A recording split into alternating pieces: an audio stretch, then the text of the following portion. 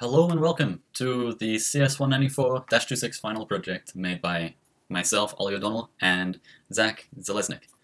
Um, our project in a nutshell is an automatic supercut generator.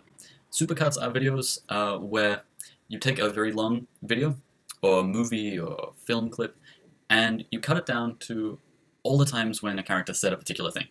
Um, there's a very funny one out now, which is every time Donald Trump has said the word China. So, without further ado, let's get into the program and what its features actually are. So, it takes as input uh, a video in the format of .mp4 and a corresponding subtitle SRT file.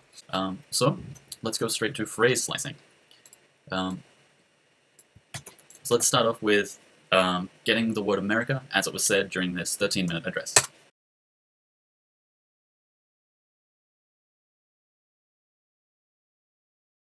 So the natural next step from here is to cut down from the entire phrase in context down to just that one word. Um, and so for any word, uh, we've chosen America because it was said a lot in the speech, um, you can see all the times and all the different ways that that word was said. Uh, so we're going to generate this and you can see the result. Against America and to America, between America and Islam, America will prevail. Bless the United States of America. So the next step is to make a fake speech. You know, I, I think of it as similar to those letters uh, that people make from magazine clippings. It's not convincing, but you know, it's fun. It's interesting to see the different words all put together into a sentence that uh, that person may never have said. So, let's try the sentence, American ideals are stronger than violence. Obama never said that in this video, but using our program, it sort of works.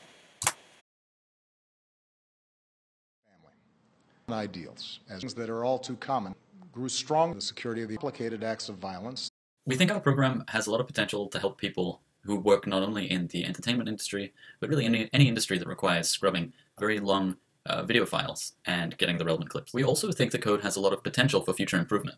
Because the code is written in Python, it would be relatively easy to implement the code on a website in the form of a web application. That way you could take videos straight from YouTube, take the subtitle file, and have this uh, available to people anywhere in the world. Also, the video is currently aligned based on the subtitle files that are imported.